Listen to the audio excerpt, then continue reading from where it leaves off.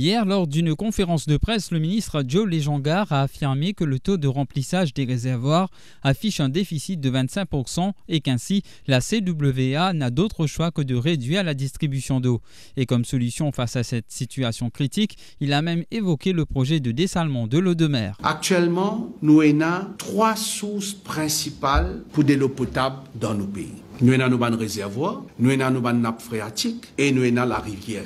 La rivière là, ça, comme on dit, nous exploitons à partir de ban filtre à pression saline. Ça veut dire que nous avons trois sources. Aujourd'hui, dans le secteur d'îlot, pareil comme dans le secteur de l'électricité, hein, nous cause ce qu'on appelle un water mix. Qui est un water mix? C'est un ensemble, right, de bonnes choses que nous de produire d'îlot.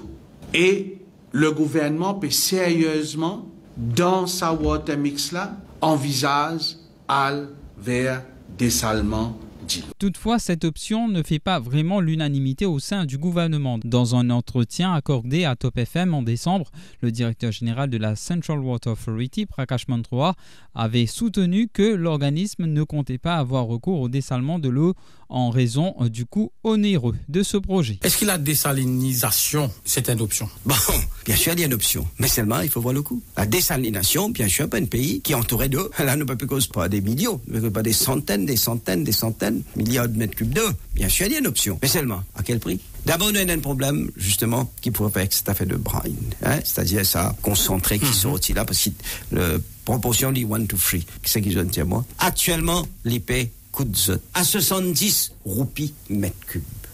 Intervenant dans l'émission Hard Talk hier, Vincent Florence, professeur en écologie à l'Université de Maurice, a rappelé que le dessalement coûte cher et il s'est demandé si cette eau peut être acheminée dans les régions autres que côtières. Il coûte beaucoup plus cher. Il, il, sept fois plus cher que ce qui nous servit comme de l'eau la pluie.